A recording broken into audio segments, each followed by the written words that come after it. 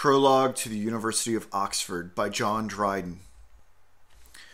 Though actors cannot much of learning boast, of all who want it, we admire it most. We love the praises of a learned pit, as we remotely are allied to wit. We speak our poet's wit, and trade in ore, like those who touch upon the golden shore.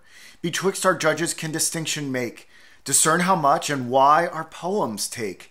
Mark of the fools, or men of sense, rejoice whether the applause be only sound or voice. When our fop gallants or our city folly clap over loud, it makes us melancholy. We doubt that scene which does their wonder raise, and for their ignorance contemn their praise. Judge then, if we who act and they who write should not be proud of giving you delight. London likes grossly, but this nicer pit examines, fathoms all the depths of wit. The ready finger lays on every blot, knows what should justly please and what should not. Nature herself lies open to your view.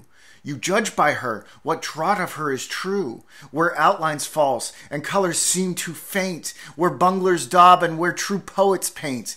But by the sacred genius of this place, by every muse, by each domestic grace, be kind to wit, which but endeavors well, and where you judge presumes not to excel. Our poets hither for adoption come, as nations sued to be made free of Rome, not in the suffragetting tribes to stand, but in your utmost, last, provincial band. If his ambition may those hopes pursue, who with religion loves your arts and you, Oxford to him a dearer name shall be than his own mother university. Thebes did his green, unknowing youth engage. He chooses Athens in his riper age.